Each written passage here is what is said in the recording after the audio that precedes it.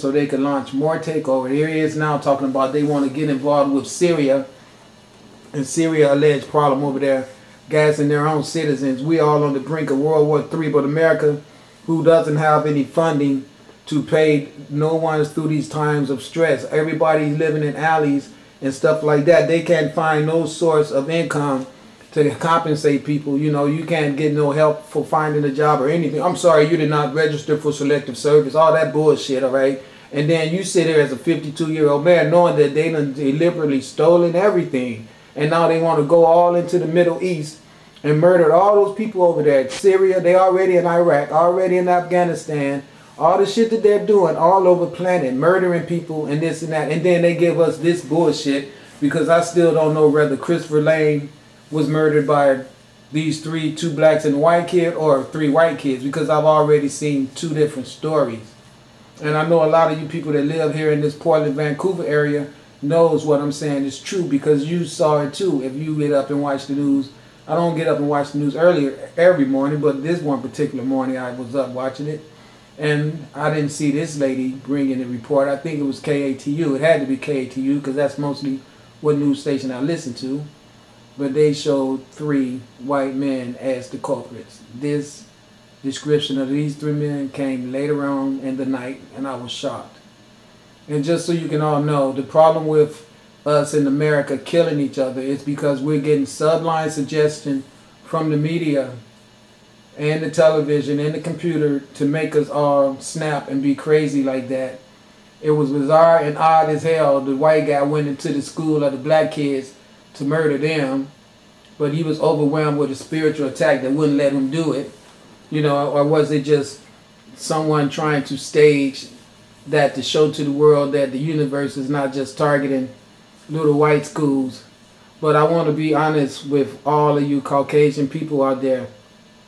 Yes, the universe is targeting you and your children because the universe wants you to understand that we know that your children are going to grow up to just be nothing but repeats repeats of your selfish wickedness and you everything about drinking and smoking and all of this promiscuity and everything that you guys have showed as adults yourselves and all the shows that you like to be on your television spectrum and everything about all this just unforgettable and, and unable to tolerate. It can't be tolerated smut.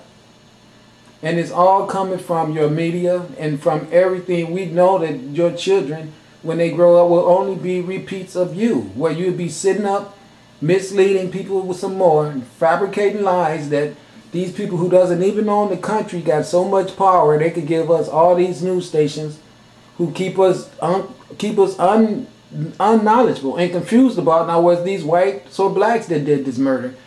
And always coming up ways to keep you in dog and keep you separated and keep you in need to make you be on the urge or on the real shaky seat of running into freaking Walmart or Starbucks or somewhere to buy something.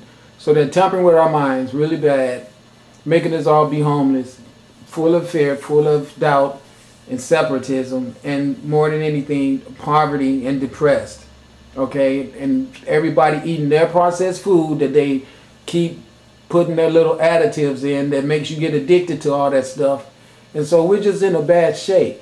All right, in a be really bad shape. So I'm saying this to everybody because I've watched a lot of stuff that I've been doing and saying, and I want you all to know that you shouldn't take it personal. All right, because I don't take it personal when I'm ostracized and everything. Because the thing is, I know that if you're going to be a person that truly works for the universe, you're going to have to go through that extremity because the people that I'm trying to reach has been really reached already by people who makes them very violent to the people that wants to wake them up and very non-absorbing or non-listening, incoherent, if you will, to the person that's trying to bring them out of that foolish existing and, and state of being in the pig pen and not knowing it. So on that note, I just want you to know that when you watch this right here, take into consideration that the world state of decadence is not based on any one criminal act when we have so many of them being enacted every second of the day, especially the criminal acts that's being enacted to the families of the Middle East, those Arabian people who we all know have done some horrible things to us melanated people, but still in all, I find no pleasure, even though I might point it out, I find no pleasure in seeing them being victimized the way they are being victimized. And I find no pleasure in being an American that could be targeted as a person subjected to bad karma for being in this country and not even having the balls to open my mouth and shout out that this is wrong. Okay, because you can see that's not a part of me.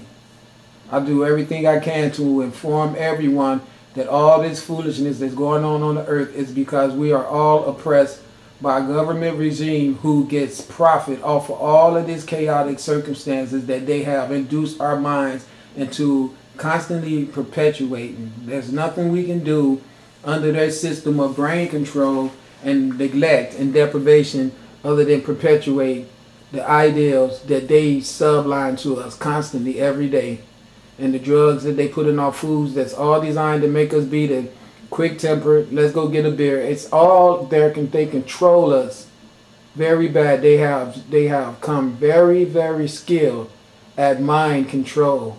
And we need to know that and we all need to put our brains together and do something to combat this problem because it's not a black problem and it's not a white problem it is an American people getting ready to be genocide problem. And that's what I've been trying to do all the time is point out to you white people that you guys more than anyone has played the biggest part of setting up these circumstances for us all to end up in those concentration camps. And if you don't start trying to do something immediately to push that Jesus crap out of your head and start seeing the real true severity of what's getting ready to go to. Your biggest problem is that these weather formations are going to kill you guys off the earth. I keep telling you that. I keep your neglect of me when I tell you I am a time traveler and I have right possession of this planet. And even if you want to sit around here and make me have a backpack and all this stuff that I know you're foolishly going to do, you're going to regret that. Because as soon as my circumstances be so bad where I leave this city, I guarantee you this city is going to be flooded or something bad is going to happen to it. I guarantee you that. And not only this city, Portland also, because the games that you Caucasian people has played all over this earth and the trouble that you're causing to people everywhere else on the planet has what constituted the need for the Federation to come here and to get you guys completely off the planet. Now I've been honest with you and I've been telling you the truth and I'm being real calm about it now, and I'm not going to let my anxieties and my inherent temper, because I know I've worked so hard to try to get you all to see the true dynamics of what's going on, and you all just want to be so evasive of what's right in your face. You're not going to sit here and try to act like you do not see all these UFOs flying around this planet that I tell you are here to destroy you.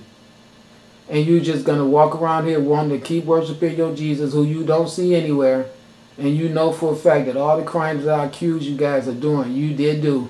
And you know those lights up there by the sun does look like the lights that's on police cars.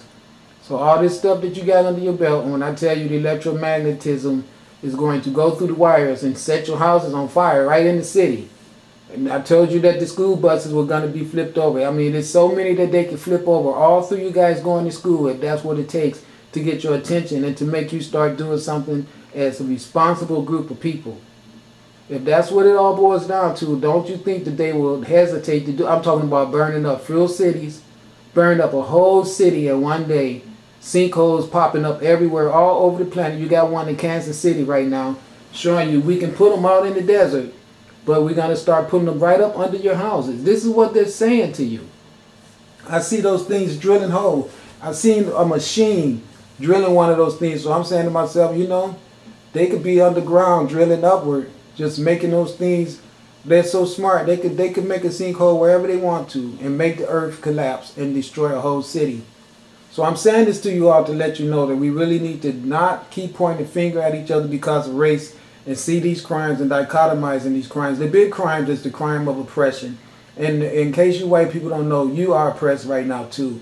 You just don't know that. You're worshiping The white man is God and turning off your true God essence inside of self. Each one of you individuals doing that is oppressing yourself, and by oppressing yourself, you launch oppression more worldly because your oppression makes you oppress self and then it make you go out and oppress others. So you guys are going to be held double responsible for the state of suppression and oppression, right along with the Zionists who couldn't have pulled it off without your help. Okay, so I want to get started on this so I, you guys can hear what's going on with this. Peace and blessing baseball superstar in college, uh, was fatally shot by three teenagers in Oklahoma. Now, the three teenagers are facing consequences. They got arrested immediately. James Francis Edwards Jr. is a 15 year old, uh, and Chancey Luna, Alan Luna is a 16 year old. Both of them have been charged with murder. Michael Dewayne Jones is 17, and he has been charged with accessory to murder after the fact and with firing a weapon. So um, immediately after this happened, uh, they faced consequences, which they should. And I should also note that the reason why they decided to go out there and just shoot this perfectly innocent person was because they happened to be bored. Mm-hmm. They took their gun, they went out with their 22 caliber and, and shot this poor 22 year old to death. So um, now this story is stirring up some controversy among conservatives. Allen West recently tweeted the following: uh, "We were bored and decided to kill somebody. Three black teens shoot white jogger. Who will the president of the United States identify with this time?" This is first of all, of course, Allen West is making it racial, right? Like, oh, it was the blacks who shot him. By the way, one of the kids was white, the, the kid who drove the car. Okay, it was blacks who shot him, and so and it was a white guy who got shot, is the president going to come outside and say, oh, I identify with the jogger? Well, of course he'd identify with the jogger. Would he identify with a guy who was so randomly born and shot someone in the head or what? Or in the back, actually, in this case. Mm -hmm. No, the reason that they say that is like, mm, you see that? Okay, what happened when it's blacks who shoot poor whites and they get their boy Allen West to make this comment? Listen, you idiots! The problem with Trayvon Martin was that the guy who shot him was not arrested. In this case, the kids were immediately arrested, as they should have been. It's a non-story. It's a story in what a tragedy it is. But in terms of a national injustice, there was no injustice. They were arrested, as they should have been, put in jail, and they'll probably get a very, very long sentence that they deserve. You see, the problem was that injustice because Zimmerman got to walk away after shooting the kid. They didn't even do a toxicology report or criminal background check on him. They're, they sicken me, man. It's they send their their sick, stupid boy Allen West out there to be like, oh yeah, okay, what would you like me to say? Okay, yeah, you see that is the black people's fault. Look at the blackie shooting the white man, poor white man. You see that? It's all the blackie's fault, and it's President Obama's fault. Uncle Ruckus, get the fuck out of our lives. That's okay, right. Jesus Christ, man. And look, some people might make the argument that the George Zimmerman case was highly politicized, but of course it was highly politicized. I mean, it involved stand your ground laws, which are highly questionable. It involved a man who shot and killed a 17 year old but faced no consequences for it until it became a big media story weeks and weeks later. Um, but in this case, I mean, I, why are you politicizing this? What the three teenagers teenagers did was absolutely wrong. They should face consequences. Two of them are facing life in prison, as they should, right? But th there's nothing political about this. Why are you making this about the president? I just it doesn't make any sense well, at all. Of course it does, yeah, right? Because you unfortunately are tasked with watching Fox News here as the producer of the show. And now every time a black person shoots a white person, they're like, where's the president? They get arrested, you assholes. They get arrested like they should. There's no injustice to correct. If there's a black kid or a black person who shoots a white person, and the cops come and go, oh, you know what, it's black, he's black, it's okay, let him go. Let's do a criminology or toxicology and a criminal background on the white kid who's dead. We'd have a problem with it. That would be an injustice because we don't view it as just black and white, unlike you guys. Jerry, am I right or wrong that Fox News has been focusing in that direction? Well, for, um, I mean, sadly, every time you hear them say, uh, they're playing the race card, play the race card. I'll stop with the race card. It's them who immediately play the race card.